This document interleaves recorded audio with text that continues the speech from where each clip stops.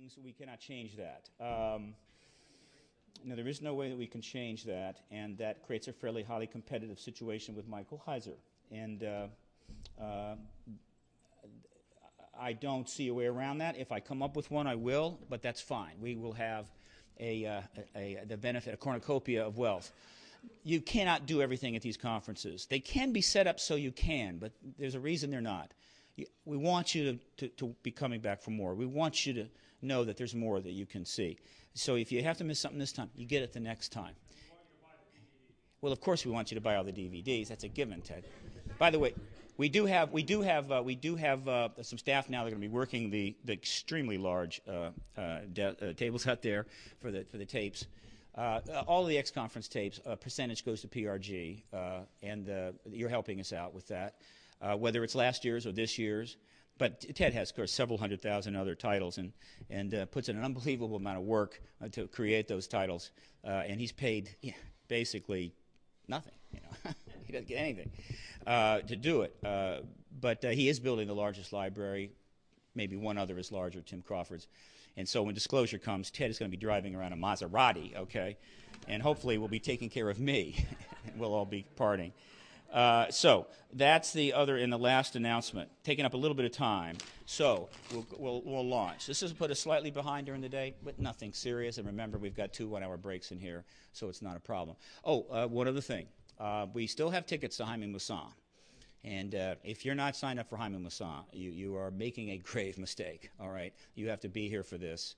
Jaime Maussan is uh, presenting now on a, on a, basis of four to five times a week all over the country of Mexico with audiences between one and 2,000 people. There is nothing comparable to that here. Nothing at all comparable. Now, it helps that extraterrestrials have been, been traveling around over the skies of Mexico in vast numbers for almost 15 years. And if that were to happen here, you know, would be amusing to say the least, and it would probably end, end, end the truth embargo. But it's happening there and one can speculate why that is. But Jaime did something that nobody else in this country has dared to do, though at any one moment they could do it. Ted Koppel would be nice. I'll try to, make the suggestion to him or maybe to Peter Jennings. He's uh, in an awkward situation now. Maybe he needs to think about the future and the legacy. Uh, Jaime, in, in 91, changed his life. I mean, he totally changed his life in an utterly radical way. And all he did was what Frances Barwood did when she was at the council in Arizona in 97 uh, there were people seeing things all over the skies of Mexico. They didn't look like anything anybody had seen before. They clearly were not balloons. They, were, they took a few films. Jaime was doing 60 Minutes down there. He uh, took some of them, did a little show, and then, and he was, by the way, a very distinguished, high profile guy. He's Mike Wallace down there, right? Very popular. Uh, and so he went on the show and he, he did something really radical. He said, You know, there's something in the skies up there. It looks really interesting. I know that most of you have video cameras now. Would you please go out and take your video cameras and, and frequently check the skies? And if you see something, night or day, would you film it and send it to me? 14 years later, 25,000 videos, of which he was able to triage out approximately 22,000. Okay? Think about that, folks. Triaging 22,000 videos, eliminating the ones that were just, well, you know, a, a, number, a number of them down there uh, were as educated and refined as Jill Tarter, uh, who is currently with the chief scientist at SETI, and, and they mistook the moon for a UFO too, and so they sent those films. But, but uh, they were quickly, uh, quickly, uh, uh, you know, understood and triaged out. Though I'm going to ask Jaime eventually to send all of those to Jill for her collection, so she can have those. Know that she's not alone in that problem that she and her husband have, which is mistaking the moon for a UFO. Uh, but uh, he now has, there's about 3,200 that are pretty powerful. 3,200.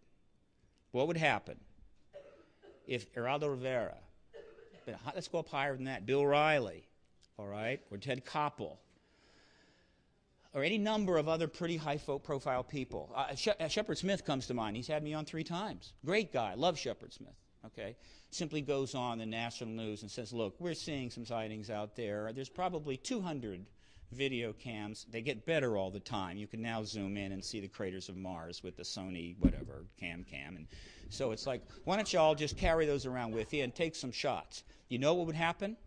within about a year, we'd probably have 10,000 videos in the hands of that news operation. It's interesting, no one's ever made that request here because if they did, they know what would happen. All right? But Jaime did. And Jaime has presented a number of times, but I asked him to come here. This will be the longest presentation he's ever given. It's the first time he's ever given a compilation presentation of everything since 91. Okay? You want to be here for this. All right, now, we come to the meat of the heart of, of the exopolitical convention. We have, we have the th- uh, number of speakers today, and they're deliberately chosen because well, they're all important, but the, there are certain, how would you say, key connections between the speakers today and this issue. Uh, and um, uh, the first one uh, here is not by accident by either. All right. Richard Dolan will be the Will Durant of exopolitics, the man who chronicles in a historical way. Okay. Alfred Webre is, is, is not a historian per se, he's a futurist. Michael Salla, a bit of an historian, but he's more in the futurist area as well. He's really political science. Richard, in his unassuming way, uh, has uh, launched on that, that mode. Uh, again, in addition to his family, in addition to another uh, you know, business and career that, that, pays the bills, and, and, and launched into history. Straightforward, matter of fact, back it up, do the, do the footnotes, you know, just be discriminate. Woo woo is fine, but not for the history book. Leave it out this time. And he wrote UFOs in the National Security State, Volume 1, I think 4773. Now, that book has had enormous impact. It hasn't even begun to have the impact it could. It will sell many, many books once it's finally picked up, I think, probably at a very high end publisher, but it's already sold through several levels and he's self selling all that stuff. So the book's out there and uh, it's only begun to sell. He's working on the second volume, 2006. Richard left school before he had his PhD. He was moving along, but things were happening. He his PhD. I'm probably going to have to have a talk with him, right? And suggest when the first opportunity comes along, maybe go back and get that puppy because uh, as things develop, I'd like, to, I'd, like to, I'd like to have that PhD by his name, uh, you know, two, three, four, five years down the line, okay, when he's going to be sitting up there with a whole bunch of academic muckety mucks, and they're going to be looking at me going, okay, you were right about the thing, you know, but I got a PhD and you don't, so like, don't get too uppity about that, all right? I know his wife. I know his wife Karen will be to support him through that, that those studies. I'm absolutely sure of this. Uh, so, Will Durant. You know who Will Durant is? He and his wife wrote History of Civilization. Well, you know, a lot, other historians have gotten into this, except Jacobs. But Jacobs, while he's an historian, associate professor at Temple, he, he, he, he didn't, he's not writing history. He launched into the study of the abduction phenomena, and he's an expert there. Uh, but no historian that I'm aware of has taken it on in that fashion. He's the first. First is great. First is cool. But it's also very tough. So he he's easily one of the most lucid people. When you ever see him in a documentary, even some bad ones, he's the one that's going to sound, oh, that's, that makes sense. That's right. That's reasonable. Uh, he's got charisma. He's got photogenic abilities and stuff, which, you know, I used to have, but lost them somewhere. I don't know. Could have been the medication. Whatever. Uh, so he, he's going he, he's like he's like Jonathan Turley. He, he, in fact, he's got almost exactly the, the, the, capabilities of being on screen as Jonathan Turley, who is a guy that got into this issue once, and I tried to get him in further, but he said, you know, I did my time. That's it. And so now he's able to come on and talk about constitutional law and a bunch of other stuff. And Jonathan Turley is an important man, and I've invited him to both these conferences. We can't quite make it down here, but that's all right. He's, he's going to be the equivalent to that. You're going to see him on television. So he leads off on Saturday basic stuff. Just like Richard Sauder is talking about the basement of the secret empire. He is talking about the base fundamental historical reality that in fact supports all of this. And the fact is, is that if there wasn't a single photograph of an extraterrestrial or a, a UFO anywhere, the historical record as he describes it is confirming of an extraterrestrial presence. We'll just give all that evidence away, right? If you're discerning, if you use your faculties and your intelligence and you apply rational thinking, okay? Which is what we're supposed to do. The original founders said, hmm, going to keep this thing going for you know five, six hundred years. Going to have free state. Going to have a whole bunch of rights. Going to have a complex society. Going to move on, move on. And we need a society of people that can apply rational thinking based on a good, solid public education and maybe some college. And by doing that, they will figure out things early. They will deal with problems ahead of time. Their society will be vigorous. It was a perfectly sound idea. Somewhere along the line, some people said, "No, no, no, no, no. Let's have America and let's have all the goodies, but let's also have a whole lot of 11th century thinking." All right? Let's go pre Renaissance if we can. Right? Let's create sort of a you know commercial corporate fascist surfism thing, you know, and it'll work. We can meld the 11th and 18th and the 21st century together. It'll work. It'll work. It won't work. These people are idiots. Don't listen to them when they turn up, right? And they want to they want to you read their book. Go read Jefferson.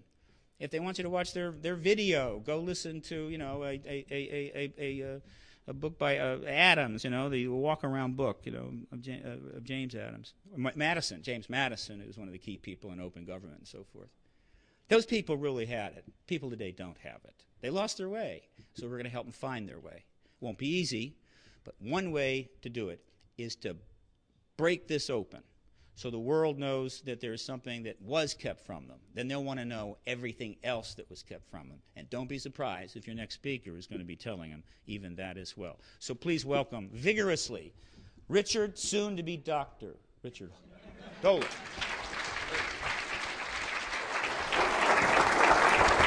Hello.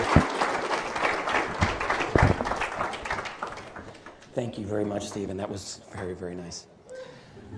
Hi, everyone. I'm so glad to be here.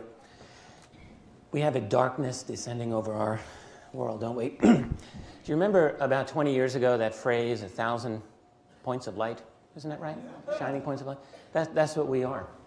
We, we actually are those points of light because we are actually here to discuss matters of uh, true importance and um, amid a kind of whirlwind of falsehood and lies and we're going to do it. Now, what I want to talk about today is uh, this whole concept of the knife in the back. And what I, what I will be telling you is that, duh, we don't have the kind of world that we grew up thinking that we were having in terms of the society that, uh, that we would like. And it's uh, part of that reason is because of this topic, the UFO topic. We have an American murder mystery. The question is what has killed the American Republic? And that may sound a little bit, uh, you know, dramatic, but I think the question is quite valid because we don't, again, as I'm, i will argue, we don't have what we thought we had. And the answer is that there are many culprits.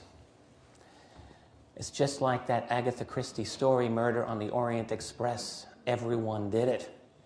But one of those is this UFO secrecy and uh, what I want to do is to put, to the best extent that we're able to, I mean, we're all in the process of figuring this out, to find the place of UFO secrecy amid all these other difficulties. I mean, there are some brilliant people out there today who are well aware of the problems that are going on, and they're writing about this in article and book form.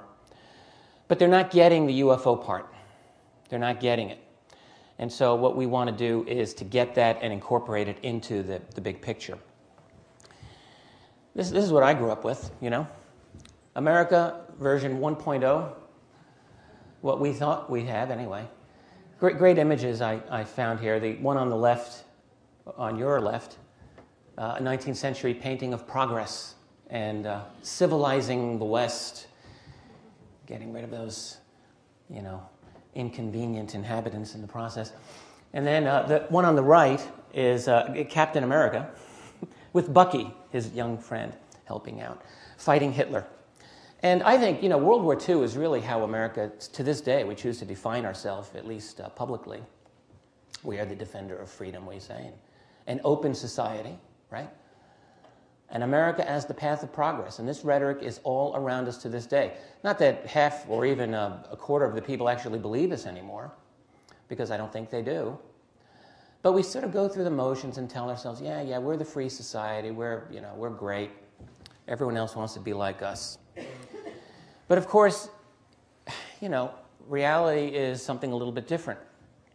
I mean, all societies tell themselves wonderful things about themselves, right? and America is no different. There are wonderful things about America. I love American history. I've studied it my whole life and uh, will continue to do so, but we have to look with, uh, with a re- realistic approach as well. And what we've had, even since before World War II, but let's just take World War II as a good, you know, place to start this whole thing. We've gone through some changes here. And what has happened over the last 60 or so years? We've had the growth of a military and intelligence community, including the secret importation of Nazis, not so secret now.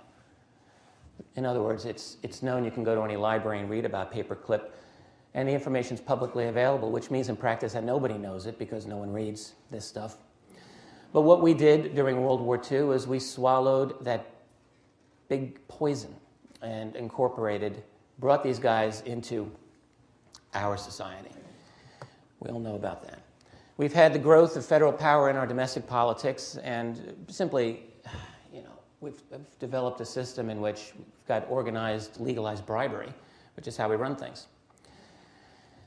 And by the way, I don't speak as a member of either of the uh, legal political parties, Democrat or Republican. I didn't vote for Skull or Bones in the last election. So I don't want you to think that I'm going at this. I'm glad someone like that. I'm not, uh, anything that I say, if it's deemed as political, um, you know, I, I don't belong to either party and, and never will. But what we have is uh, this federal behemoth. You can call it a, uh, a military state, and call it a nanny state. Either way, it's a situation in which we want the state to do all these things for us. But you have to remember here's the problem with the argument of liberals and so called liberals and so called conservatives. You have the so called liberals who say, well, you know, we have to have the government to help out the unfortunate, and the conservatives say, oh, that's a waste of money. And you have the conservatives who say, well, we have to have government, we have to spend our money on this military to defend freedom, and the liberals don't like that.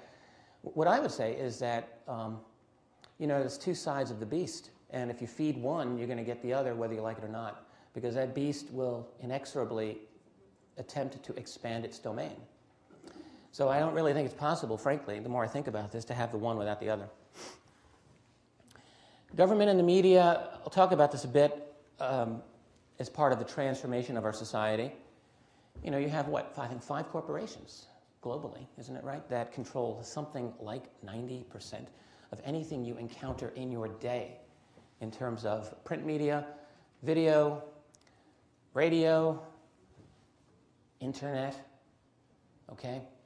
Now, back in the 1950s, Allen Dulles, who ran CIA, established very, very cozy relationships with major media outlets.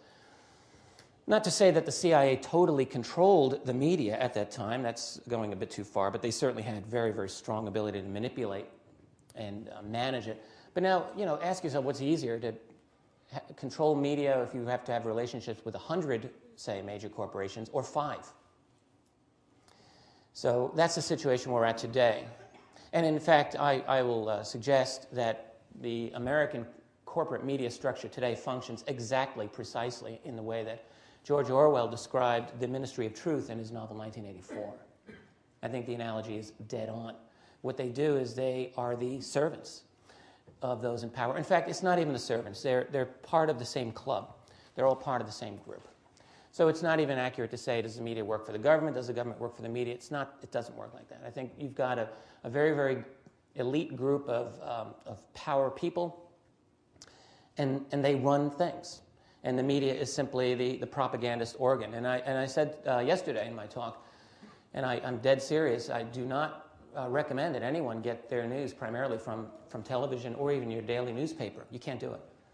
You can't do it and hope to be untainted by, by the, um, the people giving this to you because they will define the parameters of what you're supposed to consider news. You can't do that. So, what you have to do, there are still bastions of freedom in this world, and they're basically on the internet. And you have to hunt, you have to use your judgment and find things that are alternative. And I don't mean going to your AOL headlines and, and reading what's on there, because that's the same thing. And what we've had, of course, in the last 50, 60 years is a permanent warfare state. What else can you call this? When have we not when has America not had troops on the ground in other nations since the end of World War II? The answer is never. And indeed, when has there not been warfare going on? I'm not just talking about the big ones, Vietnam or Korea. I'm talking about uh, police actions uh, insurrections, silent coups, not so silent coups around the world. And this is what America has been doing. There are connections with Rome. And I to talk a little bit about this as another knife in the back of the American Republic. Rome, you know, it's almost a cliche to talk about this. Well, we're the new Rome, but we are, okay, in many, many ways. Nothing is ever the same exactly in history, but there are analogies that we have to remember. This is Rome in around the year 218, 218 BC. Rome was expanding, it had gotten uh, basically all of the Italian peninsula, some of the islands. And Rome had been a republic for centuries by this point, about 300 years. Rome had a heck of an army, we all know, and by 44 BC it was looking like this. This is at the time of the death of Caesar. Now, let's go back here. This is, all right, and now you got this. Now, the Roman Senate was the, the dominant political institution by which they ruled. You ask yourself, how is the Senate going to rule the western part of uh, Hispania or Gaul or you know, in the Middle Eastern provinces or, or North Africa? It's not so easy. All right? That was a system designed to rule over Romans in a much earlier period in a much different time. And so what happened by that period, you get this big argument developing between, I forgot my pointer. That guy is Cicero, Marcus Tullius Cicero, and this is Caesar. Cicero was the, really the last great defender of the old Roman Republic when it was still a republic. And not that he didn't have his ulterior motives either, he did. But Cicero really said, look, the Senate's corrupt, I know that, but it's the only bastion of freedom that we have in this society, and we've got to maintain it. And uh, thank, oh, a laser pointer. Thank you, sir. Very nice of you. There is Cicero. We should read Cicero, by the way. He's very instructive, worth reading today. I've been, uh, in the last year, I, some voice in my head said, read Cicero. I'm not, you know, basically, and I've, I've read, uh, read his selected works. And here's Caesar, a man of equal intellectual stature at the least. Caesar was a, a genius as well. But Caesar, Caesar had a different attitude, and he said, no. The Republic is hopelessly corrupt, incapable of rule. We need a different way. Cicero died, then Caesar died, but the Republic was dead as well. And that's what happened. Fast forward to today, okay? This is one way to look at America. It is not the only way to look at America. This is a map of American military bases worldwide, basically today, as far as we can tell. And I say as far as we can tell because we don't actually have full information on this. All right, but these are nations in red where America has military bases. There's over 50 of them, 730 military installations. And this does not include troops on the ground in other nations, which are several dozen. The total is well over 100 nations in the world where the United States has military troops on the ground. I'm not talking about embassy guards, I mean soldiers on the ground with a mission. Now, admittedly, not all of those missions involve a lot of soldiers, but they're there. Some of them do involve a lot of soldiers. Now, you know, just looking at this, um, when you have a military base, a permanent one in a country, that involves a lot of work, it involves a lot of control. And ask yourself, how, how able is Congress to manage this empire? And frankly, there could probably be better maps than this um, in terms of wealth and ownership, but I, I'm working on it. it's not easy to put these together. This is, this is an excellent one, though, just on the military side of it. Uh, and yes, let me just emphasize again we don't know um, where some of these permanent other permanent bases are because this information is actually classified. So that uh, some of it is classified. So we actually do not have a full idea. And that's worth thinking about for a moment, isn't it? Now, this is a quote by Machiavelli. I'm very fond of this quote. It's in my book. I've mentioned it from time to time at other conferences. I'm not going to quote the whole thing, but I will paraphrase what Machiavelli said. This is a statement, I think, of true genius. Machiavelli, writing Discourses on Livy 500 years ago, really understood a lot of things.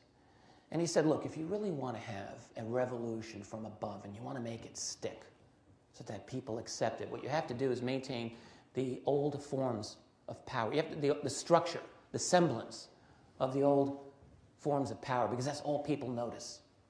You could have utter, profound changes going on at the deepest levels of your society. And if you keep the old facade, the way that it always has been, you'll be fine.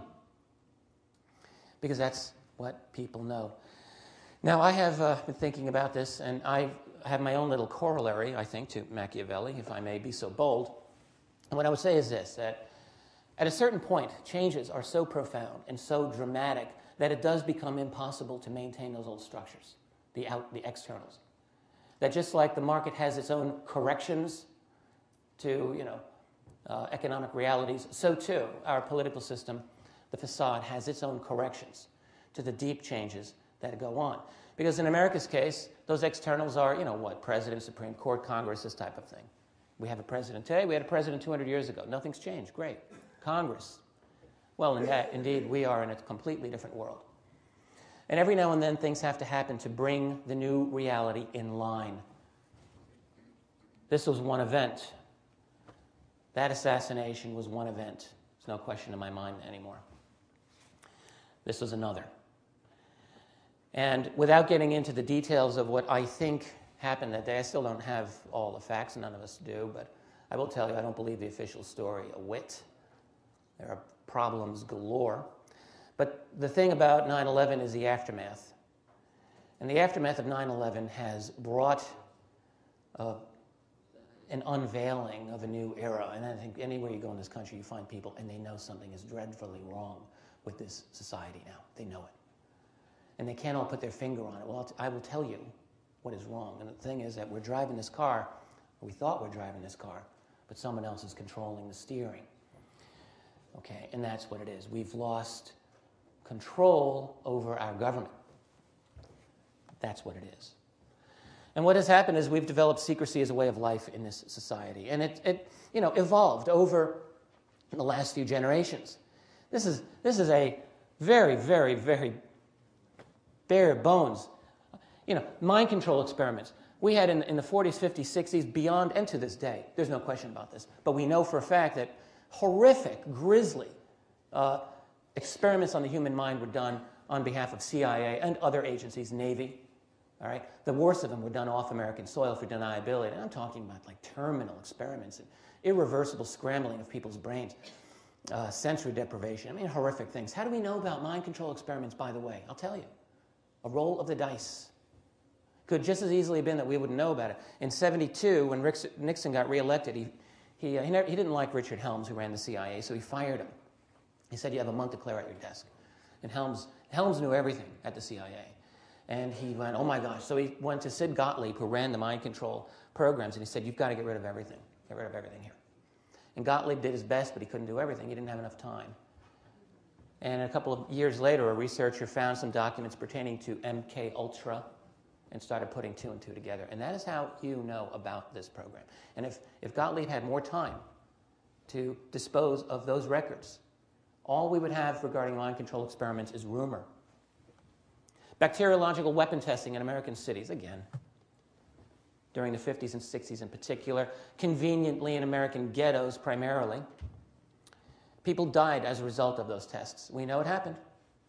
And by that meaning, essentially no one knows it happened, but you can know it happened because you can find books on it by academics. The plutonium testing, right? Where I live in Rochester, New York, they did, they did quite a bit of this in the 40s. The uh, wonderful Tuskegee uh, experiments, where black men were allowed to live with syphilis their entire lives because it was interesting to observe.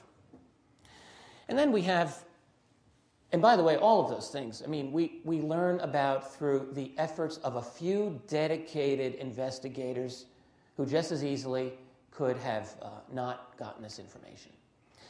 We've had, even, even on a broader scale, though, institutional secrecy. Uh, in 1952, the National Security Agency was founded, okay, the NSA. And it's important to, to uh, emphasize that the NSA was the most powerful as far as we know, intelligence agency in the U.S. government system, and it was totally unknown for over a decade. No one knew, not even Congress members, most, most members of Congress had no idea that this thing existed. And it was bigger than the CIA. It was a black arm of government that was bigger than anything else and totally unacknowledged. Think about that, all right? Same with the NRO, the National Reconnaissance Office, founded around 1960, which was a felony to mention the existence of that organization until the 90s. In Congress. You could not mention it. 30 years. Unbelievable. The NRO is uh, formally charged with monitoring our spy satellites, right? Well, there's certainly very significant UFO connections with the NRO, etc., etc., etc., etc., etc. Now you ask today, well, why are there any other secret organizations today? Or are you going to pull a CIA and say something like, well, you know, we did that in the past, but now we don't do that anymore, which is what you know, people say. Well, no, of course not. That's ridiculous. I, I spoke with a, um, a, a military attache lives in this area, good guy. And, you know, he tells me the scuttlebutt. He has a friend who's a senior congressional aide who did some budget research and analysis and came to the conclusion, after crunching numbers, this is years ago, that there had to be an enormous, what he called black arm of government. So, you know, secret that it was didn't, didn't supposedly exist, that involved a tremendous amount of money. And this aide apparently came to the conclusion, according to my friend, that that arm of government was related to the topic of UFOs. Why would that shock anyone? Now we come to the, to the I know Steve hates the phrase UFO, but I'm, I'm using it. Sorry, forgive me. We come to UFOs now. And let's segue and, and slide this into the mix. Here's a few things we know. We have to remember what we know. Always distinguish what you know from what you think you know. And in this field, we all think we know certain things, and they may end up being true, in fact. But I, uh, you know, I still try to tread as cautiously as I can. And that doesn't mean that I deny uh, certain, you know, very bizarre stories. In fact, I know some of these are probably true, but we have to remember what we know. Always distinguishing. Rene Descartes said, I think, therefore I am. What did, what did he mean by that? He, that was his way of starting a new philosophy of uh, absolute foundation of knowledge that could not be denied, upon which he tried to build a, a new edifice of knowledge. And I think we, we should remember this type of thing. Remember what you know, remember what you don't exactly know, okay? What you think you know. What we know is that this phenomenon is real. It's real. No matter who it is, no matter where it's from, it's real. It involves real technology. Real technology that is not supposed to exist. We know that. We know that the secrecy is real. What we also know we need to remind ourselves of is this there is a lot of money involved in this topic. None of us are getting it, but it is there because it involves the most advanced technology in this world. How can it not involve an enormous amount of money? There are also many potential dangers associated with this topic. There is, of course, the oft discussed possibility that they are here to kind of rub us out, develop a hybrid race and replace us, and, or, or other, other major dangers involved. When you start studying this topic, I mean, you become aware of some serious crises that this planet is about to embark upon and, and meet. And so we know about all of this, and the real problem is that there's no public oversight of it. You and I do not have the right. Well, we do have the right, but we don't have the right to look into this. All right? People, the people are blocked again and again at attaining some level of knowledge, and it is through knowledge that you have control. So let's think about a few questions as we continue along here. Some people really think, you know, why does the secrecy even matter? Who cares? I work. I got to, you know, crack my nut each week, make the money, pay the bills, raise the kids, got to get my TV time in. How, how, you know, why should I care about this? Well, there are many reasons to care. Here's one. This is an idealistic answer, but let's remember because you cannot have an open society, you cannot have a free society if you have a society based on secrecy. It's an obvious statement, and we have to remind ourselves of it. What does it mean about your society when something this big has been denied for six decades? That's another question to ponder. Can you really say you have a free society? When something this massive is denied to you for so long. You know, freedom is all relative. We're free compared with other people in other situations, but are we, are we as free as we think we are? By the way, the other reason secrecy matters is because there's as I just said a moment ago, there's money and technology involved. And you're paying for it, guys. we pay for it. Now, I don't want to go through all this history in uh, great detail. I did some of this yesterday. And it is not for me to, uh, I don't want to belabor things today. What I want to stay here, say in this case is that the secrecy of, of this topic goes back.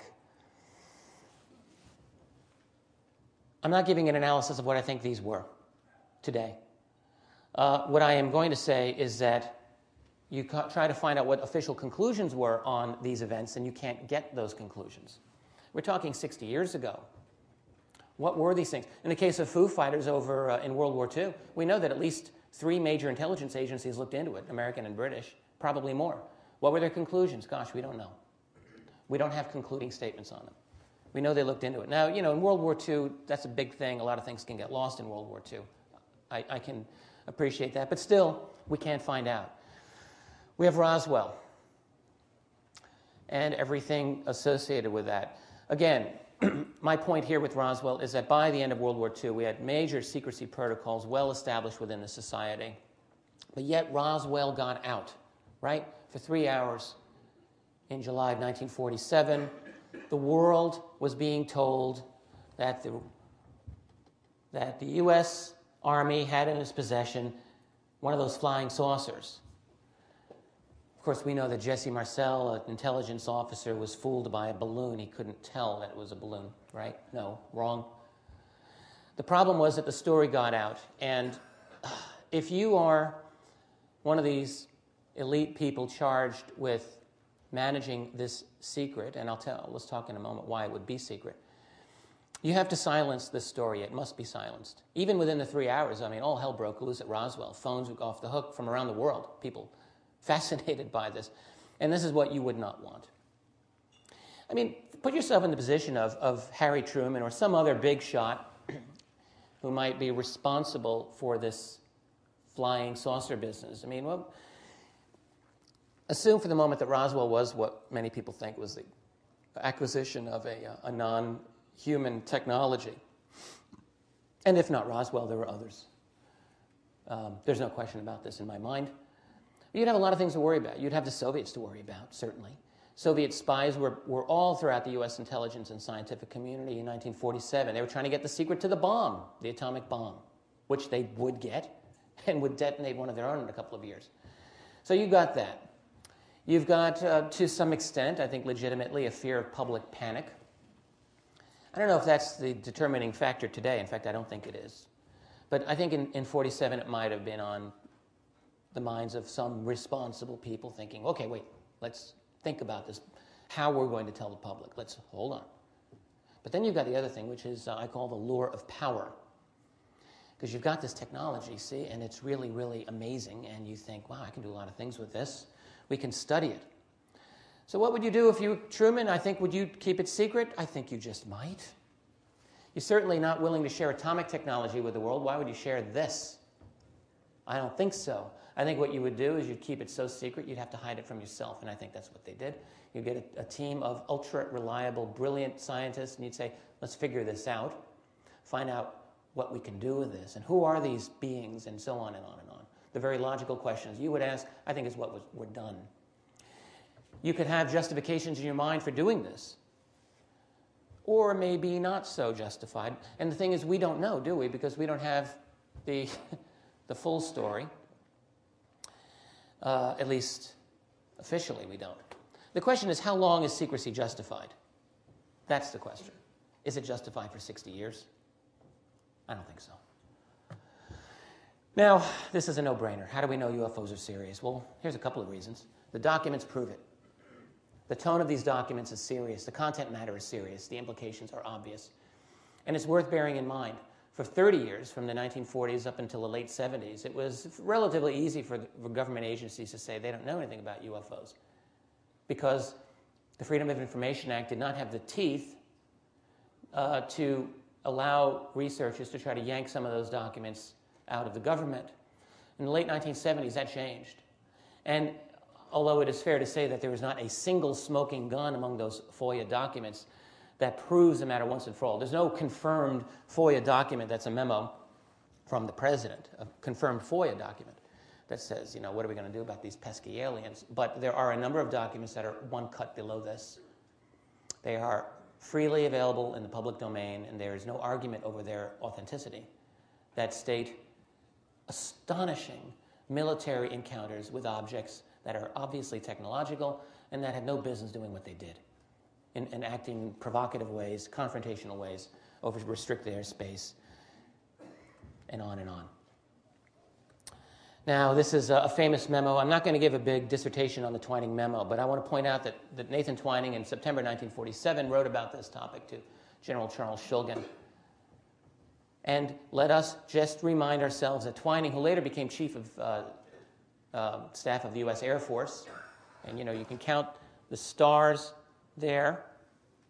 I think he became a four star. Said that this phenomenon is real. It's real. It's not visionary, it's not fictitious.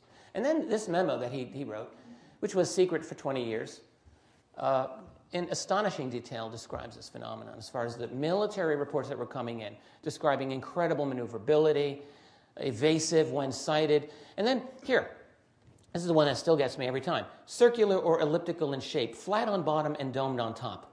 1947. Okay?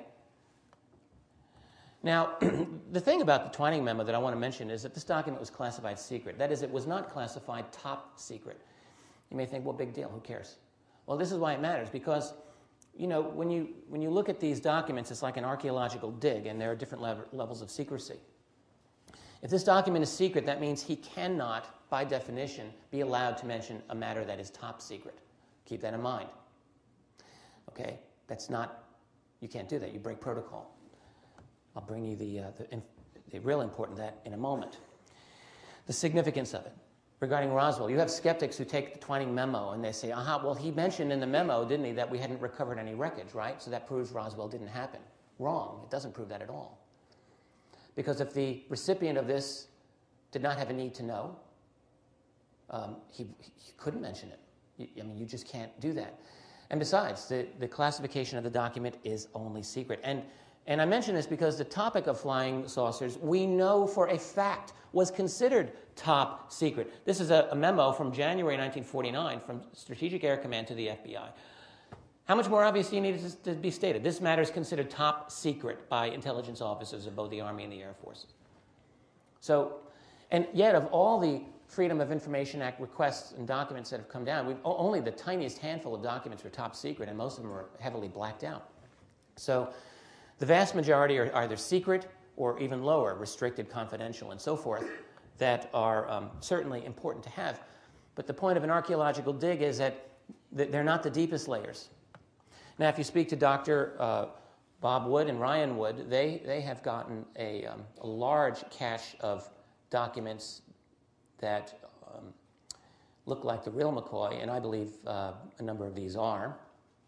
The, the only problem is that it, they have to fight on the authenticity with a, a, very skeptical public that says, well, you know, the provenance of these is questionable and so on. So it's a tough fight, and they're fighting the good fight on this. Uh, from the point of view of the FOIA documents, though, you don't have to go through that because they are officially released. And even from these documents, which is not as deep a level, archaeologically speaking, you can get a lot of information out of it. Uh, I'm not going to do a document hunt here for you today. I'm just going to look at one or two others here. But I think this is a significant one, also from 1949, the same day, in fact, as the one I just showed you, describing sightings over Kirtland Air Force Base. Local commanders perturbed by implications of phenomena. Okay, yeah, I think you would be. Uh, this is a nice, a great photograph, of course, from McMinnville, Oregon, by the Trent, Paul Trent. This has been analyzed by many, many people, and it's authentic, as far as anyone can tell. It's absolutely, no one's debunked this. I mention it because, uh, let's, let's move on now, because now we're getting into the meat of why I think we've got the secrecy and why the secrecy is, has transformed our society. This is a memo from 1950. You know, I first read this. I don't know what to do with this. I don't think. I really think a lot of people don't know what to do with this memo because it's like right there in your face. It's an official Freedom of Information Act document, and it describes And an Air Force investigator states that these so, three so called flying saucers had been recovered in New Mexico. They were described as being circular in shape with raised centers, 50 feet in diameter. Each one was occupied by three bodies of human shape, but only three feet tall. It's a 1950 memo. People have looked at this and, and then, really, with very minimal content. Now, this, in fairness, does not prove that this is true. It simply states that an Air Force investigator said this. And so it's a secondhand thing, but nevertheless, nevertheless. Well, I want to talk about uh, crash retrievals a bit. Wilbert Smith is a man who uh, many of us know about, but he gets, he gets a little bit left behind, I think, in some of these stories. And he was a Canadian uh, government official, uh, a man who was fascinated by this topic. And in 1950, uh, in Washington, talking privately to some, some heavy hitters. And, and he wrote this memo to his government at the end of 1950, and he said, I made discreet inquiries through the Canadian embassy staff in Washington who, who learned this for me. The matter, he's talking about UFOs, is the most highly classified subject in the United States, rating higher even than the H bomb. And the hydrogen bomb was just being developed at that time. Flying saucers exist. Their modus operandi is unknown how do they work? We don't know. But concentrated effort is being made by a small group of scientists headed by Dr. Vannevar Bush, the same Vannevar Bush, of course, who's listed in the MJ 12 documents as um, one of the original MJ 12 members. And Vannevar Bush was, without question, America's leading, let's call him power scientist. Scientist who had the top, best national security connections probably ever, uh, at the time anyway. And then finally, the entire matter is considered by the U.S. authorities to be of tremendous significance, obviously. This, this uh, document here is a uh, handwritten statement, handwritten notes by Wilbert Smith found in his, uh, in his papers after his death. It's a conversation that he wrote down with a scientist, Dr. Robert Sarbacher. In 1983, uh, long after Smith had died, Sarbacher was still alive. And a uh, UFO researcher William Steinman said, Hey, you know what? Let's go find Sarbacher and ask him about this. So he found him, corresponded with him. Sarbacher confirmed. This is Sarbacher's letter here. You can just see that it exists. He said John von Neumann was involved, Dr. Vannevar Bush was definitely involved, and I think Dr. Robert Oppenheimer also. About the only thing I remember at this time, the only thing I remember at this time, doesn't that remind you of like Iran Contra? That's all I remember at this time. Is that certain materials reported to have come from flying saucer crashes were extremely light and very tough. I am sure our laboratories analyzed them very carefully. There were reports that instruments or people operating these machines were also a very light weight. I remember in talking with some of the people at the office that I got the impression these aliens were constructed like certain insects. Sarbacher said this in 1983. He died shortly after that.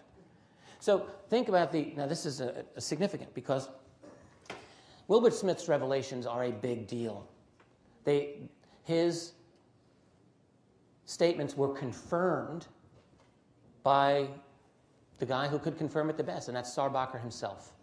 Absolutely. It confirms also that this topic is important and probably expensive, and that it is beyond your control.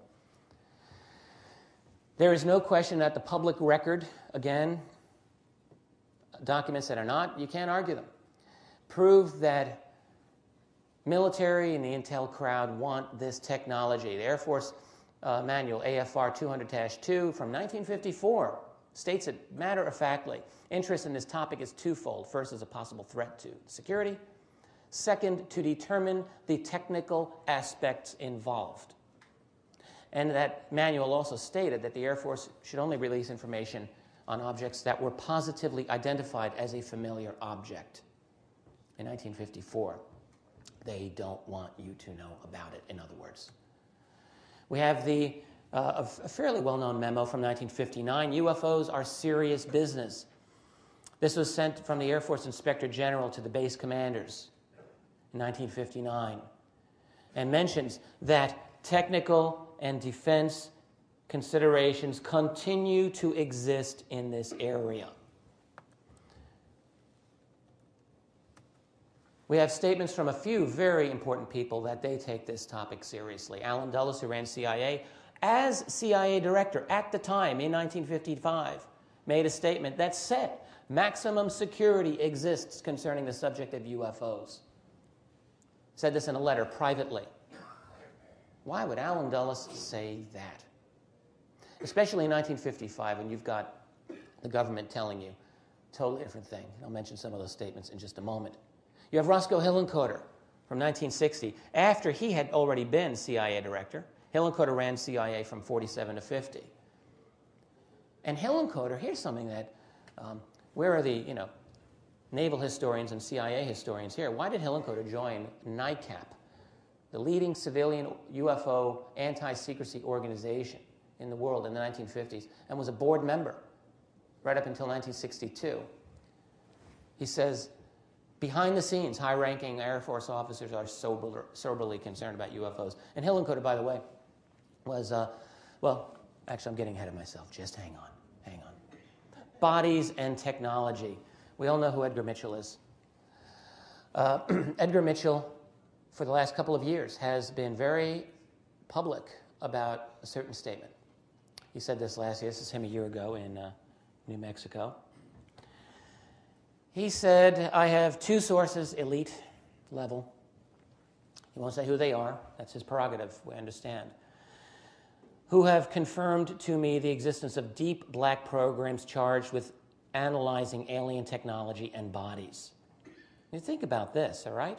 You're Apollo 14. Who, who will not want to talk to Edgar Mitchell? You know, if he wants to talk to someone, they're going to talk to him, I would think.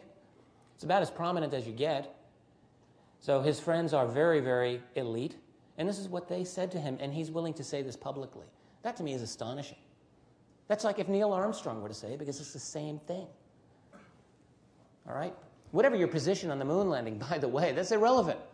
His public position is such that to make this statement is a big, big deal. Where is the media? There was one article on, on his statement about a year ago that just ups, absolutely uh, trivialized the whole thing. And then that was it, just buried it. Well, I think, I think the statement deserves a little bit more attention than that.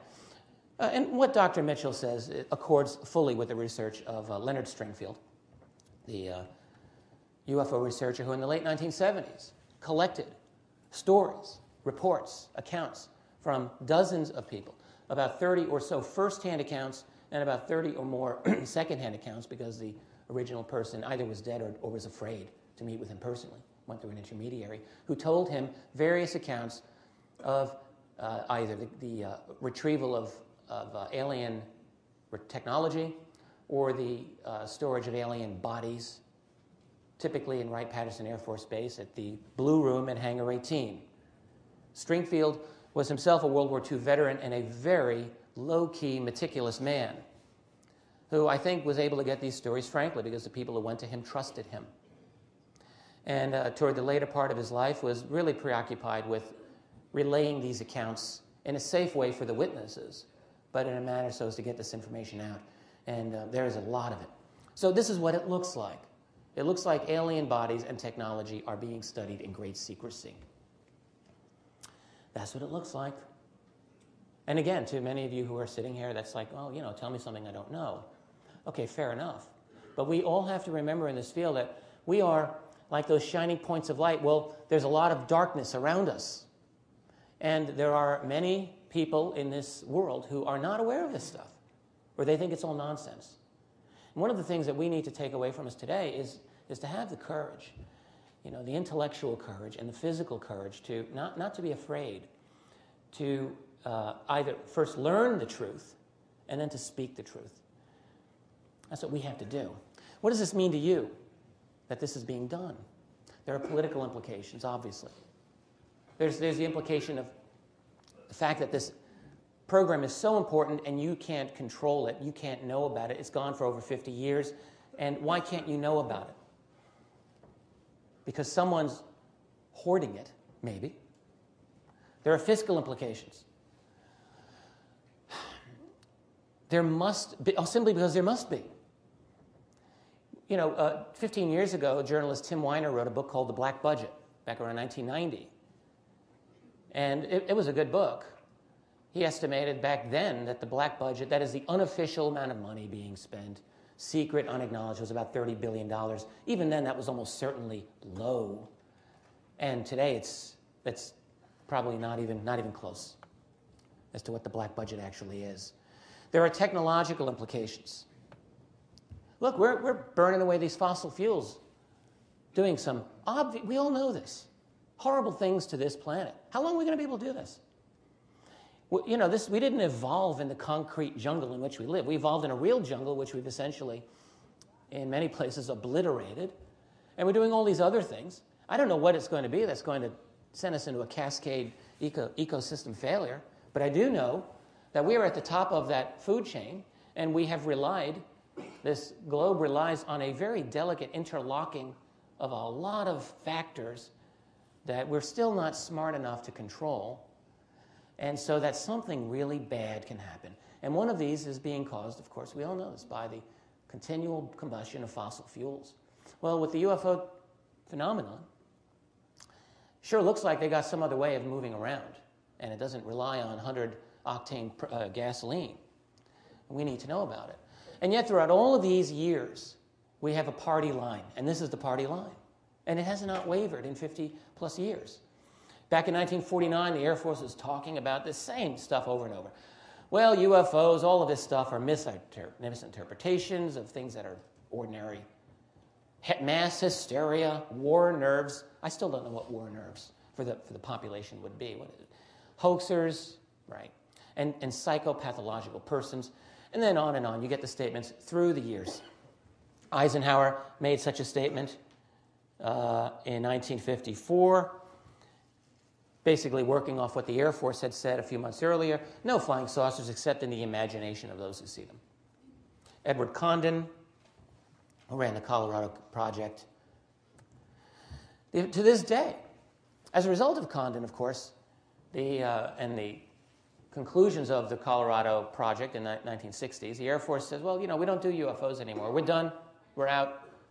And so if you inquire, you, you will still get the standard form letter from 1949, we investigated, and all in very, you know, bureaucratic language. The conclusions of the project were no UFO reported, investigated, or evaluated by the Air Force was ever an indication or threat of threat to our national security. I just showed you a couple of documents earlier, only a few, that clearly proved the lie to that statement. There are many more. No evidence that these represent technological developments beyond our current knowledge no evidence that they were extraterrestrial. And since we've ended Blue Book, nothing has occurred that would support a resumption of UFO investigations by the Air Force. All of these statements are lies, every one of them, every one. Um, no UFO reported investigated was an indication of threat to our national security. Wow. Well, throughout, I don't know how much time I have because we started late. I'm just going to keep going. I have a lot more to talk about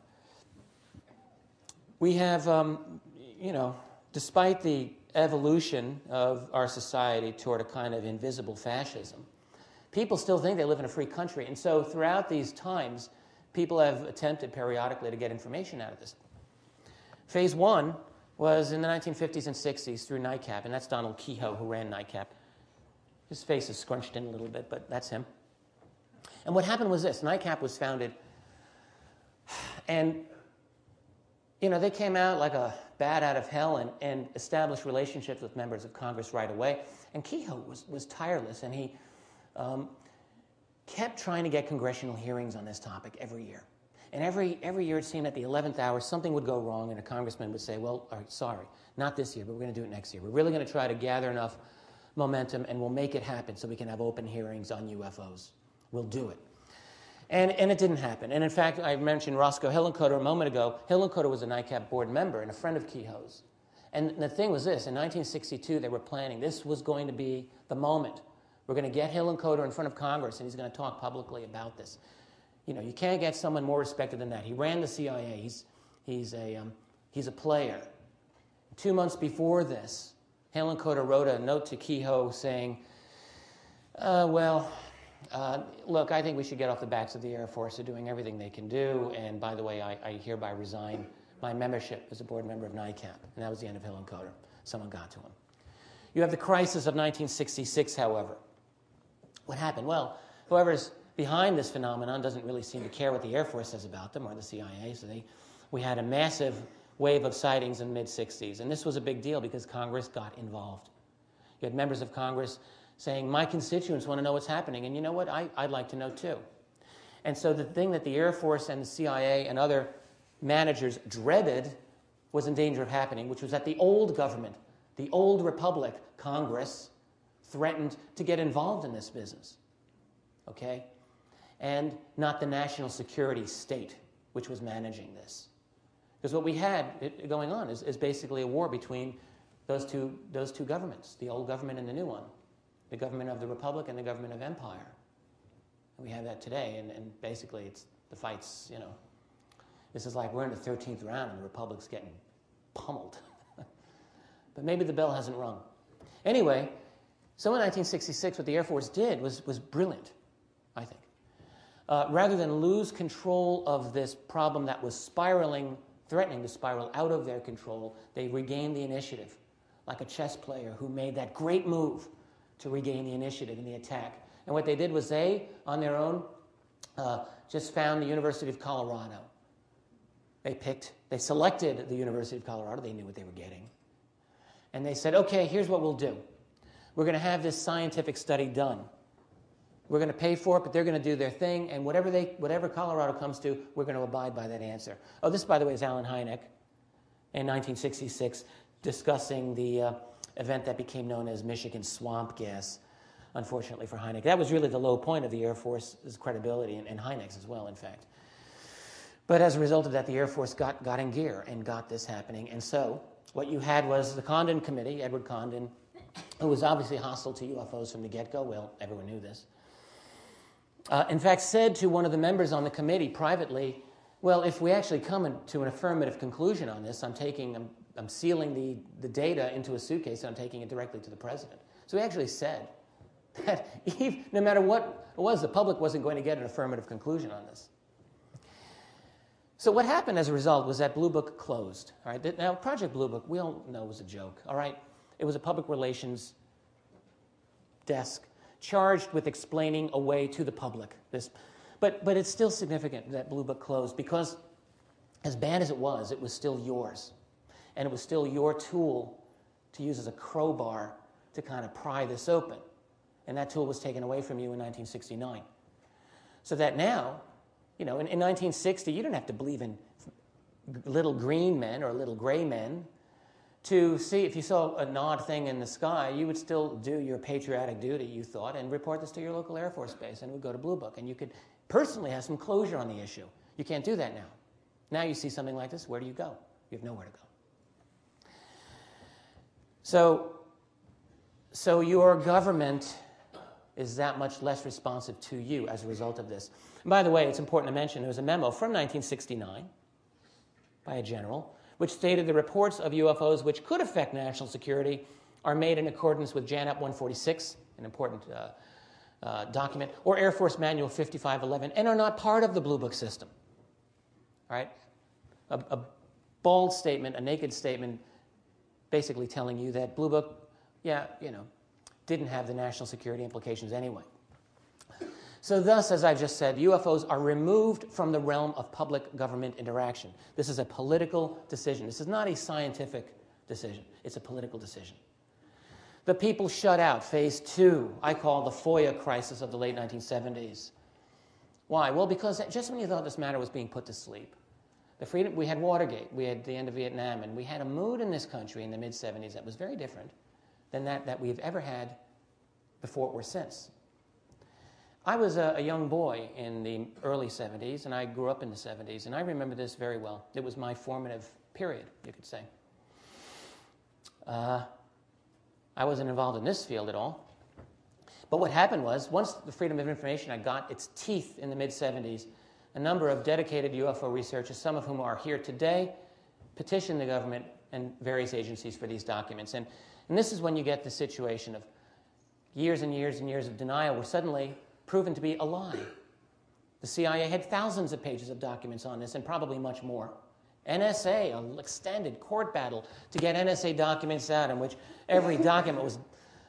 The, the affidavit, the, uh, the judge decision, which said why the documents couldn't be released, was itself classified and almost entirely blacked out. I mean, an unbelievable thing. So it was possible for a researcher in the late 70s and, and maybe the very early 80s to think, okay, all right, this could be, this could be the thing that cracks it open. Freedom of Information Act is going to be the tool to bust this whole thing open. And the mood was very distinctive. You, uh, you know, go through the old um, uh, journals and documents, and you can see that researchers, understandably, were excited about this, but it didn't happen. And what happened actually is that uh, the Freedom of Information Act had its own ups and downs. I think a significant event was in 1982, an executive order that uh, didn't overturn the FOIA. That's a little bit too dramatic, but weakened it significantly, made it much less user friendly. Under Carter, the, the thing about Jimmy Carter was that he intentionally promoted a liberal interpretation of FOIA and told federal agencies, you have to respond quickly, and you can't give people a hard time. You can't charge them an arm and a leg. You just do it. All right? I don't want you to give away all the detailed national security secrets, but you have to be reasonable. And that attitude never made it easy. I mean, there was still obfuscation and obstruction, but it was at least more possible then than at other periods to get some of this key information. And indeed, some, most of the best documents that we've received officially through FOIA were obtained during that period. The act was, in the opinions of some researchers, gutted in 82. Uh, basically, the Democratic presidents, Clinton and Carter, were more FOIA friendly than the Republican ones. I'm not making a blanket value statement, but it's a fact. The act is at uh, a low point now. It doesn't mean that we can't do archival research. There are excellent archival researchers in the field today, and they are continuing to get information out. So it's not, you know, we're not an end game here. But what I'm saying is that this act has had its ups and downs. And, and it is true that it is true that NORAD, for example, which Evidence is now pointing to NORAD as a absolutely key conduit of UFO data. NORAD is exempt from the Freedom of Information Act. They do not have to answer a single FOIA request. People shut out phase three. I call it phase three. The Roswell crisis of the early 90s. This whole thing was dead, right, after 1947? Well, it wasn't dead. Stanton Friedman, Kevin Randle, and other people started interviewing these Roswell witnesses in the 1980s. Uh, and started putting a heck of a story together. And by around 1990, the uh, plan was, through the Fund for UFO Research and uh, involved people, to get a video compilation of all the Roswell witnesses and to show this to members of Congress. Wow, that would be something, wouldn't it? Well, yeah, I should have had that up there. Well, what happened? So uh, eventually, this gets in front of New Mexico Representative Steven Schiff, uh, and he says, you know, this, this is very interesting indeed. And Schiff came about this in a very, uh, very responsible and intelligent way. He didn't say, I believe in flying saucers. He said, look, I want to know what happened, okay? My constituents want to know. I'd like to know. And let's find out. So what did he do? Well, he talked to the Pentagon, Pentagon liaisons who absolutely stonewalled him and brushed him off, annoyed him. And he said, Well, I'm a member of the uh, oversight of the General Accounting Office Committee. That's our, the Congress's investigative arm. I'm going to ask them to look into this. And, and the GAO said, You know what? Yeah, sounds like a good idea. Let's do it. Let's go for it. And the GAO started to look into this. And again, the Air Force acted exactly analogous to how it acted on, in the 1960s. The Air Force, on its own initiative, started to uh, gather its own Roswell story and was able, before the GAO finished their report, to tell you that, well, actually, Roswell wasn't just an ordinary weather balloon. It was a, a classified balloon project known as Mogul, and so on. So they beat the GAO to the punch. That was the key. And they, they made their point. They won their point. And the GAO, by the way, uh, said when they finally got their report out, well, it was really difficult because all the records we were trying to look at seemed to be gone, and there was no reason why they were gone. They shouldn't have been gone, and there was no explanation given. Roswell Army Airfield, in other words, from uh, the end of 1946 to the early 47, we couldn't get anything. That's what they said. The people shut out again. Senator Goldwater. All right? Barry Goldwater ran for president in 1964. He was a general in the U.S. Air Force Reserve. He was friends with Curtis LeMay. Barry Goldwater was rebuffed repeatedly in his attempt, as he said, to gain access to the so called Blue Room at Wright Patterson Air Force Base. He wrote a number of letters on this. This is one of them here from 1981. And he said, This thing has gotten so highly classified, even though I will admit there is a lot of it that has been released. He's speaking of the, uh, the Freedom of Information Act era of the late 70s. It is just impossible to get anything on it. Even then, he could see. Okay? I mentioned I had this slide on my talk yesterday, but I had to kind of rush through it, so I'm, I'm bringing it up here again. Significant. Ben Rich. We need to know more about this man and his statements. Ben Rich succeeded Kelly Johnson as the head of Lockheed's elite division known as Skunk Works. Toward the end of his life, Ben Rich talked a little bit about UFOs. He said, Yeah, well, I you know, knew Kelly Johnson quite well, and we had a couple of discussions, not many, but a few on, on the topic of UFOs. Turns out Kelly Johnson was very interested in UFOs. A fact, unfortunately, I did not know when I wrote my book. I will work that into the next book, though, somehow. But he said that Kelly Johnson said to him, There are two types of UFOs, ours and theirs. So we've, you know, got some of their stuff and we've been working on our own technology. Uh, he said around 1969, control over this program went away from the US presidency to a private international group. He said quasi public, quasi private. He said uh, that was Johnson's opinion, Kelly Johnson's opinion, that the aliens seemed to be more of a threat than a blessing, and that the public should not be told about it. However, Rich said that toward the end of Kelly Johnson's life, Kelly Johnson believed that the human directors dealing with the subject may be more of a threat to our freedom than the aliens themselves. Yeah. And Kelly Johnson, you know, I, I bet if you go through the aerospace community and you want to find like the single most classic legend, I bet he would be it. And then uh, in 1993, Ben Rich spoke at the UCLA School of Engineering alumni group, gave a long speech on the history of Skunk Works, and he ended it with that amazing statement. we now have the technology to take ET home. That was what he ended it on. End on a high note, as George Costanza used to say. Well, he did, but of course, the people in the audience didn't want to leave it at that, so they kind of surrounded him afterward and discussed with him. And one of the people there is an executive who, uh, who repeated this, and actually, it seemed to be verbatim. Rich said, We now know how to travel to the stars. 1993. He said, There is an error in the equations, and we have figured it out, and we now know how to travel to the stars, and it won't take a lifetime to do it. He said, It is time to end all the secrecy on this, as it no longer poses a national security threat, and make the technology available for use in the private sector. And the last, this is a paraphrase apparently of what Rich said. There are many in the intelligence community who would like to see this stay in the black and not see the light of day. Yeah.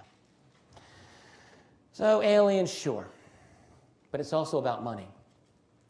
A couple of years ago, I was speaking uh, across the country at another of these conferences, and a, uh, uh one of the organizers came up to me in a state of panic. And he said, Rich, um, I'm not going to mention the name, so and so wants to talk to you. And so and so is this scary guy who had a deep black ops history, apparently, and people were afraid of this man. And I didn't know much about him. He came up to me, and I finally met with him. And uh, actually, he offered me inside information about purloined technology from Area 51. In, re- in response, uh, in return, I would have to sign a non disclosure agreement and not reveal any of this stuff. And I said, well, you know, no thanks. Look, the guy wasn't going to tell me anything that I probably don't already know, and, and uh, to tie my hands like that was just, there's no way I would ever do that. But one thing he said to me, and he's standing there, and he says, You know, he was a tough guy. You could tell. He said, You know what they're guarding out there at Area 51? They're guarding money. Trillions of dollars worth of money. He did sound a little bit like George C. Scott. And uh, I think his point was a good one. He said, This stuff is so valuable. It's so valuable. They just, there's no, there's no incentive for these people to give this up. Why? Why would they possibly share it with you? I mean, think about it. If you're a scientist and you're charged, you know, with figuring this stuff out. All right, so you're, you're a genius and you're banging your head against the wall for five, ten years, whatever. Then you have a eureka moment and you think, oh, yeah, wow, we can, we can do this. So, you know, you've got a great ground floor investment opportunity, among many other things. I don't see the, I don't see the um, incentive for, for giving this up, especially now, if, if, as Rich has indicated and others certainly um, corroborate, that control over this is really beyond uh, you know, official government power. Can someone tell me how much time I have in this? Is it possible to know? You know, you're, you're, you're just about done now. You probably get three minutes out of it. Okay, well, thanks. Thanks for the heads up. So that's what we've got. You know, who, who controls this program? How big is this program? Well, it looks like it's really big. It looks very, very big. How much of your money supports it? I don't know. Lots. I mean, think about this. The U.S. official military budget is 400 and what, 20 billion dollars now? So we have a population of, I think, 280 mil, million people. So you do, just do the math on that. That's $1,500 for every man, woman, and child in this country. You have a family of four, that's $6,000. Now, I don't know if 6,000 of your dollars are paying. Of course, it's all on credit. It's all going to wreck the dollar once China floods the market with their dollars. The, the thing is, though, that we're talking an enormous amount of money here. It's a public issue, guys. We have to get control over it. What have they learned from this technology? There's some questions.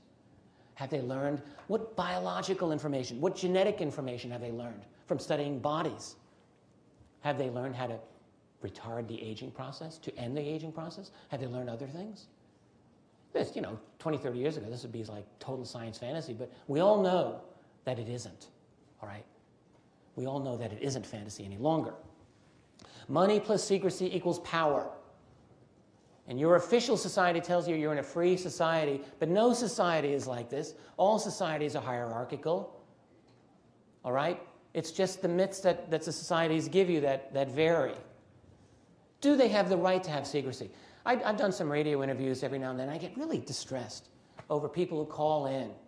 And they'll say, well, you know, look, the public just can't handle this, man. They're going to freak out. I'm like, what are you, like a little five year old? what, what, what is it with you? You have no guts? You're going to be like a little peasant sitting on, sitting on your ass saying, oh, I'm going to wait. I'll wait for Big Brother to tell me when, it's my, when they think I should know. This is how people are. And I, I don't, it's distressing to encounter this, but I know that there are people like us who don't believe this. And so it is our job to, to tell them that, yeah, the guys who have control over this, they want the right to keep this secret. Of course they do, and they'll come up with any rationalization possible. Because people have an infinite capacity to rationalize anything they want, depending on who's signing their paycheck. That's, that's what we do. Is this truly a public policy issue in the sense, are they really worried about you jumping out of a building and freaking out? I don't think they care about that. All right? They don't care about that. What they care about is, are you going to, is this going to rock the boat sufficiently that our situation is going to be threatened? Do you have the right to know? Forget does the public have the right to know. Do you have the right to know? Yes. Damn right. You do have the right to know.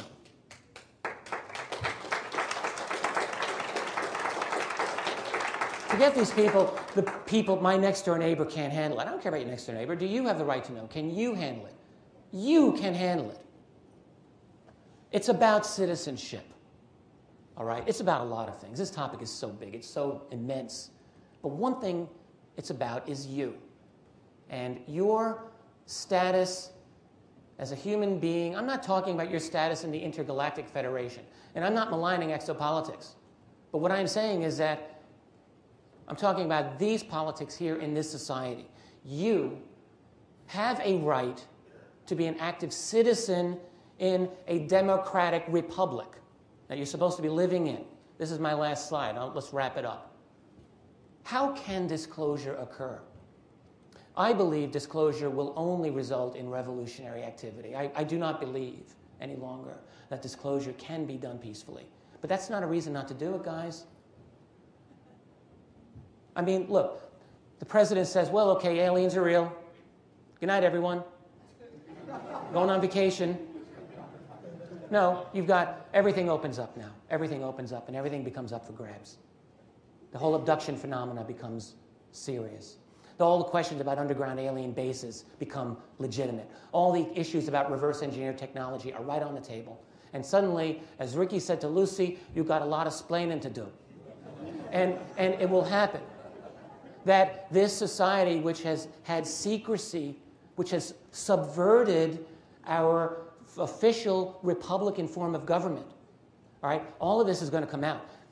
If not within the first five minutes, not in the first five days, it'll come out within five years. No way, it can't. And so by that time, you can't, no one can predict the outcome of such a spinning of out of control of this stuff. But so that's why I argue this is not compatible with our society, that disclosure, as it is, as it is structured today. It is compatible with our old government. It is compatible with a democratic Republican form of government. It is not compatible with what we have now, which is a kind of invisible fascism. And invisible be- because really people can't see it. Thank you.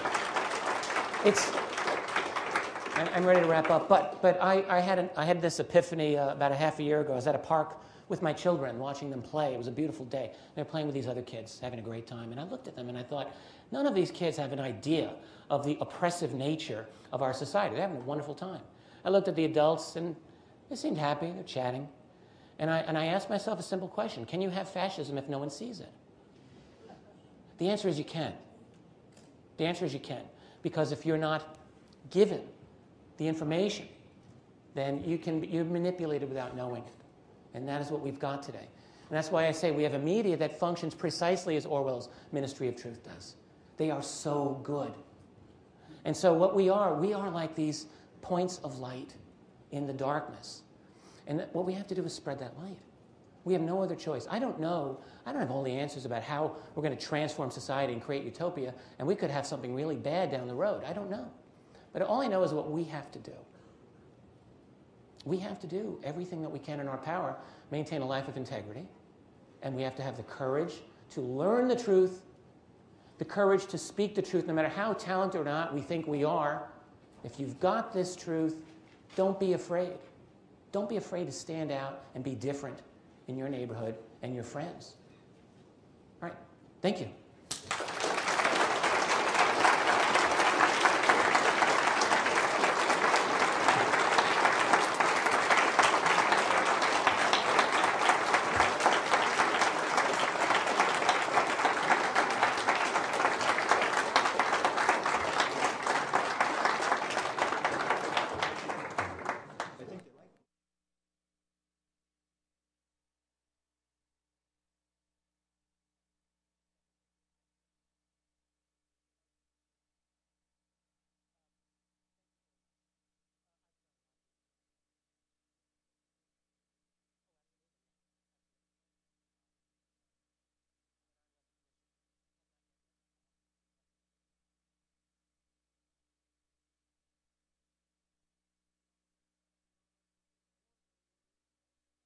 Library.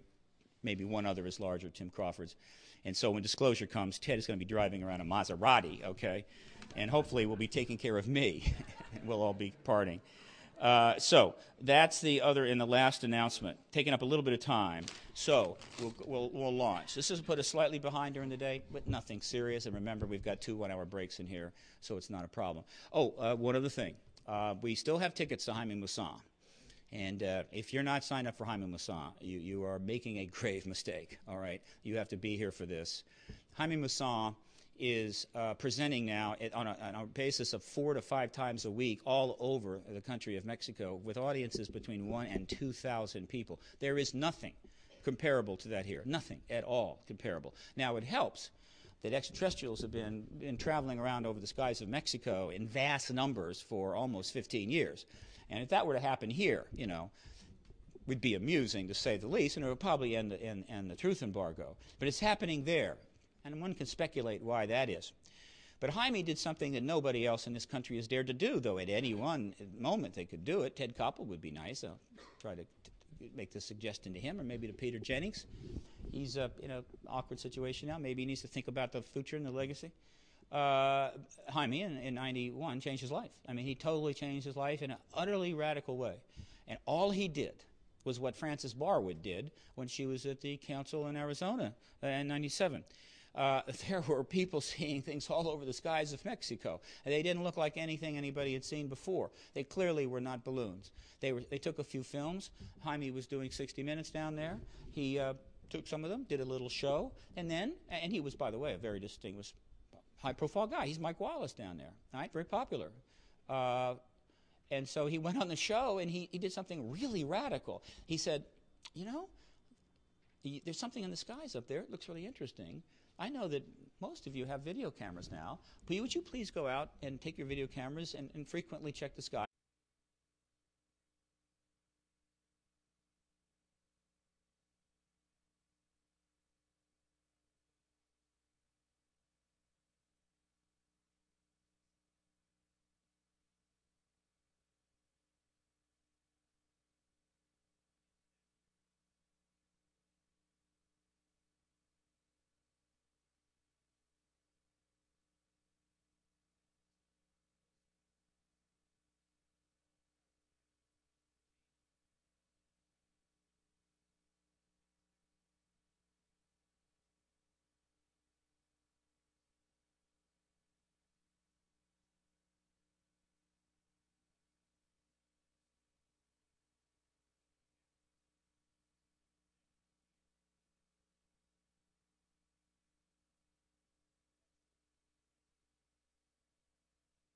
Things, we cannot change that. Um, no, there is no way that we can change that, and that creates a fairly highly competitive situation with Michael Heiser. And uh, uh, I don't see a way around that. If I come up with one, I will, but that's fine. We will have a, uh, a, a the benefit, a cornucopia of wealth. You cannot do everything at these conferences. They can be set up so you can, but there's a reason they're not. We want you to, to, to be coming back for more. We want you to know that there's more that you can see. So if you have to miss something this time, you get it the next time. Well, of course, we want you to buy all the DVDs. That's a given, Ted. By the way, we do have we do have uh, we do have uh, some staff now. They're going to be working the, the extremely large uh, uh, uh, tables out there for the for the tapes. Uh, all of the X conference tapes, a percentage goes to PRG, uh, and you're helping us out with that, uh, whether it's last year's or this year's. But Ted has, of course, several hundred thousand other titles and, and uh, puts in an unbelievable amount of work uh, to create those titles. Uh, and he's paid yeah, basically nothing. You know, he doesn't get anything uh, to do it. Uh, but uh, he is building the largest lights. And if you see something night or day, would you film it and send it to me? 14 years later, 25,000 videos, of which he was able to triage out approximately 22,000. Okay? Think about that, folks. Triaging 22,000 videos, eliminating the ones that were just, well, you know, a, a number, a number of them down there uh, were as educated and refined as Jill Tarter, uh, who is currently with the chief scientist at SETI, and, and they mistook the moon for a UFO too, and so they sent those films a bit. But uh, they were quickly, uh, quickly, uh, uh, you know, uh, uh, understood and triaged out. Though I'm going to ask Jaime eventually to send all of those to Jill for her collection, so she can have those. Know that she's not alone in that problem that she and her husband have, which is mistaking the moon for a UFO. Uh, but uh, he now has, there's about 3,200 that are pretty powerful. 3,200. What would happen if Geraldo Rivera, let's go up higher than that, Bill O'Reilly, all right, or Ted Koppel, or any number of other pretty high profile people. Uh, She- uh, Shepard Smith comes to mind. He's had me on three times. Great guy. Love Shepard Smith. Okay. Simply goes on the national news and says, look, we're seeing some sightings out there. There's probably 200 video cams. They get better all the time. You can now zoom in and see the craters of Mars with the Sony whatever cam cam. And so it's like, why don't you all just carry those around with you and take some shots? You know what would happen? within about a year, we'd probably have 10,000 videos in the hands of that news operation. It's interesting, no one's ever made that request here because if they did, they know what would happen.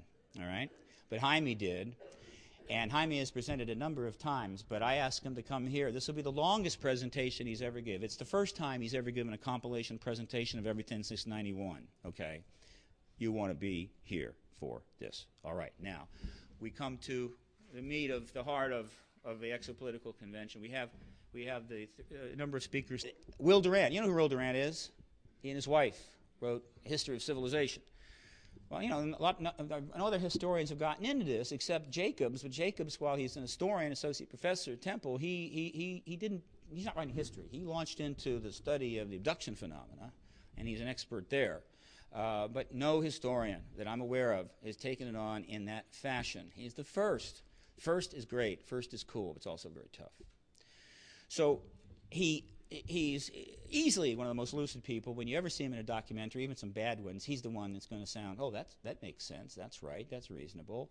Uh, he's got charisma. He's got photogenic abilities and stuff, which, you know, I used to have, but lost them somewhere. I don't know. Could have been the medication. Whatever. Uh, so he, he's going he, he's like he's like Jonathan Turley. He, he, in fact, he's got almost exactly the, the, the, capabilities of being on screen as Jonathan Turley, who is a guy that got into this issue once, and I tried to get him in further, but he said, you know, I did my time. That's it. And so now he's able to come on and talk about constitutional law and a bunch of other stuff. And Jonathan Turley is an important man, and I've invited him to both these conferences. We can't quite make it down here, but that's all right. He's, he's going to be the equivalent to that. You're going to see him on television. So he leads off on Saturday basic stuff. Just like Richard Sauder is talking about the basement of the secret empire. He is talking about the base fundamental historical reality that in fact supports all of this. And the fact is, is that if there wasn't a single photograph of an extraterrestrial or a, a UFO anywhere, the historical record as he describes it is confirming of an extraterrestrial presence. We'll just give all that evidence away, right? If you are discerning, if you use your faculties and your intelligence and you apply rational thinking, okay? Which is what we're supposed to do. The original founders said, hmm, going to keep this thing going for you know five six hundred years going to have free state going to have a whole bunch of rights going to have a complex society going to move on move on and we need a society of people that can apply rational thinking based on a skuds today and they're deliberately chosen because well, they're all important, but the, there are certain, how would you say, key connections between the speakers today and this issue. Uh, and um, uh, the first one uh, here is not by accident by either, all right? Richard Dolan will be the Will Durant of exopolitics, the man who chronicles in a historical way, okay, Alfred Webre is, is, is not a historian per se, he's a futurist. Michael Salla, a bit of an historian, but he's more in the futurist area as well. He's really political science. Richard, in his unassuming way, uh, has uh, launched on that, that mode. Uh, again, in addition to his family, in addition to another uh, you know, business and career that, that, pays the bills, and, and, and launched into history. Straightforward, matter of fact, back it up, do the, do the footnotes, you know, just be discriminate. Woo woo is fine, but not for the history book. Leave it out this time. And he wrote UFOs in the National Security State, Volume 1, I think 4773. Now, uh, that book has had enormous impact. It hasn't even begun to have the impact it could. It will sell many, many books once it's finally picked up, I think, probably at a very high end publisher, but it's already sold through several levels and he's self selling, all that stuff. So the book's out there and uh, it's only begun to sell. He's working on the second volume. 2006. Richard left school before he had his PhD. He was moving along, but things were happening. He his PhD. I'm probably going to have to have a talk with him, right? And suggest when the first opportunity comes along, maybe go back and get that puppy because uh, as things develop, I think I'd like to I'd like to have that PhD by his name, uh, you know, two, three, four, five years down the line. Okay, when he's going to be sitting up there with a whole bunch of academic muckety mucks, and they're going to be looking at me going, "Okay, you were right about the thing, you know, but I got a PhD and you don't, so like, don't get too uppity about that." All right. I know his wife. I know his wife Karen will be happy to support him through that, that those studies. I'm absolutely sure of this. Uh, so